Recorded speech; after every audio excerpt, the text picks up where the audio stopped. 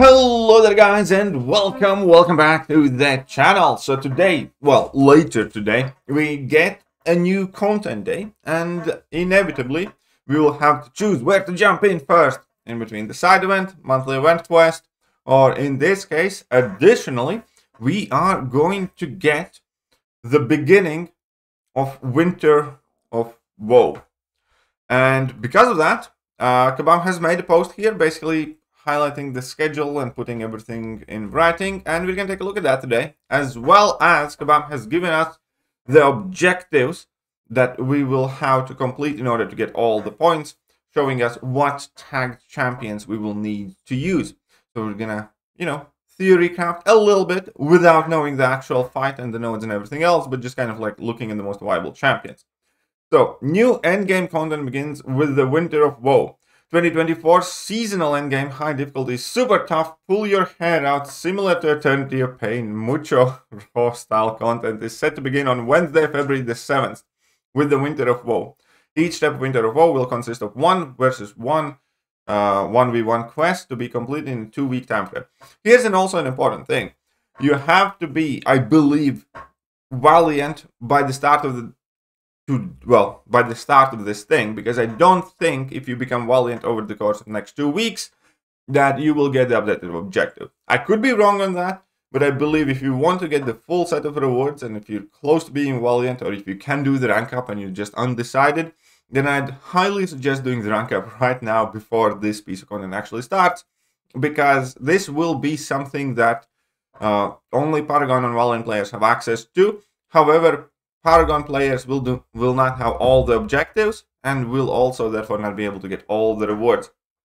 If you become Valiant after the first week or during the first week, you will still get better rewards, just not all of them.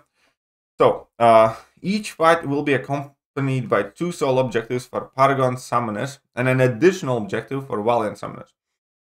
Earn points towards Winter of Woe milestones by completing those objectives. You'll want to complete as many as possible over the next two months to get the best rewards possible. Rewards acquisition has also changed to milestone style distribution, meaning you will not have to wait for your rewards. Now, I personally really do like this because that means every single time we're going to get a new fight or we're going to complete the objectives, we're going to get the rewards immediately. That is one of the most painful things about Eternity of Pain is just waiting for all those rewards because especially the last week last set, you know, of quests and objectives, there's like a month limit. So you do the fights, let's say, in first of November, and then you get your reward sometime in December. That was so frustrating to wait for. So I'm happy that Kabam changed it up. Please see below the full Winter of Woe schedule. Future seasons of unhappiness will follow a similar structure. We can see February 7th, February 21st, March the 6th, March 20th, we get the fights and the objectives, and then from April the 3rd to May the 1st is the final, final kind of quest.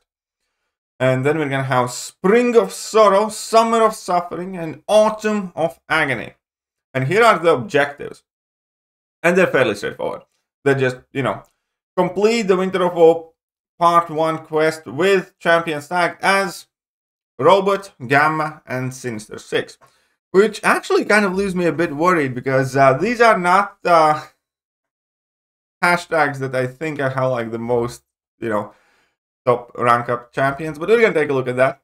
And uh, another thing to note, it will be pretty much impossible to double up on objectives this time around. We're gonna have to tackle them one at a time because the only champion that fits like two objectives would be Rhino, being Sinister Six and Gamma, but it's Rhino, like who has a high rank rhino and who you know will be i mean sweden maybe i don't know.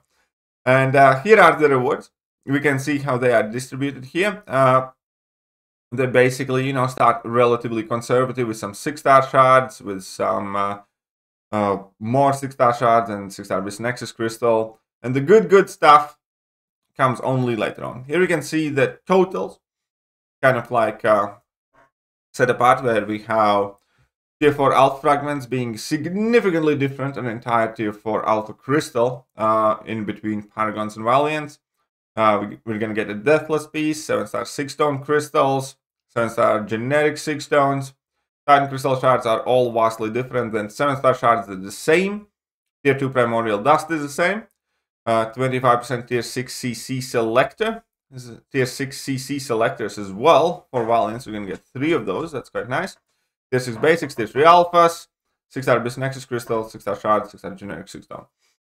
So these are the total rewards and how they differ. If you are becoming Valiant somewhere in the middle, you will have a chance to get like an additional milestone somewhere along the way here. As you can see that milestone number 7 is Paragon Peak. And if you miss out the first Valiant objective, actually, now that I think about it, I think if you become Valiant, because they said that there's going to be like a point spare. I'm not entirely sure. Well, either way, at the very least, if you become Valiant along the way, you will have access to extra Titan shards for all fragments and some of the stuff here for sure as well. Right.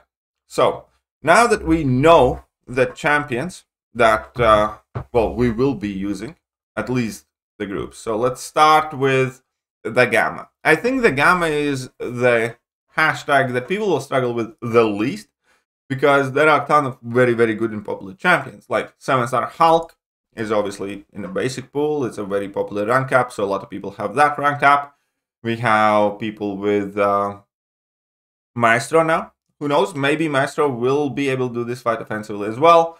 Then we have people who have ranked up Sasquatch and Overseer and Joe Fixit and Absman is very popular as well. So in general, I think that this is going to be one of the easier kind of hashtags uh, to make work, unless the fight penalizes science characters. Obviously, if there's like a skilled champion with shrug of mechanics and stuff like that, then it could be rough. But other than that, uh, it, it, it does look fairly manageable. I also have some options here. I have rank 2 Hulk, I have rank 2 Overseer, I have rank 2 Sasquatch, and if need be, you know, I potentially can rank up some of these champions. Um, moving forward, that's the robot hashtag, and that ironically is another hashtag that I'm not that confident with. I do have a rank 5 Warlock and Nimrod, and that's about it. Um, I know that you know some people will be very very happy to potentially flex their rank two Dragonmans and Guillotines, or potentially even rank threes. Meg Sentinel also is a solid pick here, and a robot hashtag is something that we see quite frequently in these uh, challenges and you know special objectives as such as well.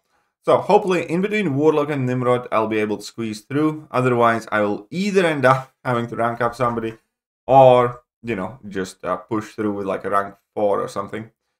And then the final one. And the final one's kind of scary because obviously we all have Scorpion. And then, and then, and then.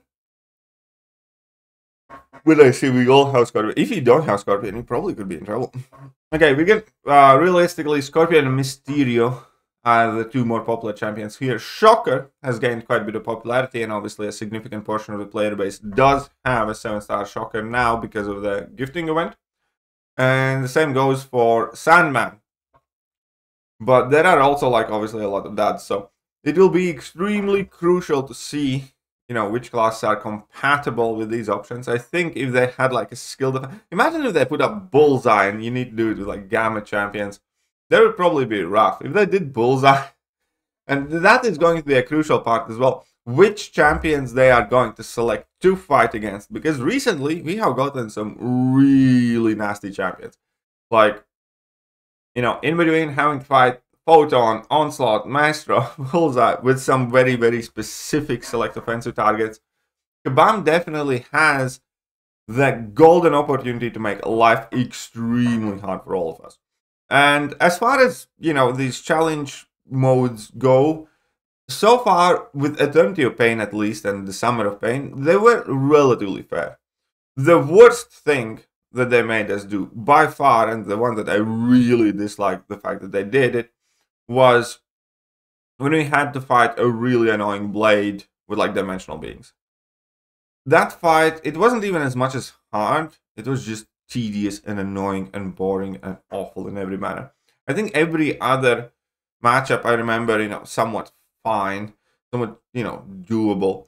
But that blade with dimensional beings was just rough. So let's hope that Kabam didn't put, like, you know, something like bullseye whatever here. Anyways, um, let me know what you guys think. Which are your highest ranked champions in these three hashtags? And I'm gonna catch you guys soon. Bye bye. Hello there guys and welcome back to the channel. So we have all